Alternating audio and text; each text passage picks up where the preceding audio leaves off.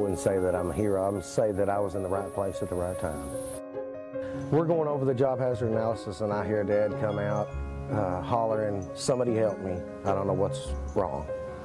So I instantly dialed 911, ran around the corner, and I see a father holding uh, his baby, his two-year-old. When I'm trying to calm the dad down, I mean, you know, I'm a, I'm a father myself, so I can completely understand when you're holding your baby, kind of just drops your heart.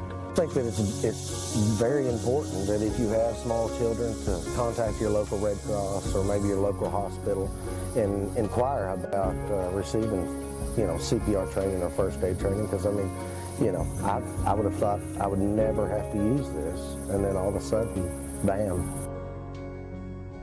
Uh, I'm not a doctor, I'm not a nurse for sure. Uh, we trim trees.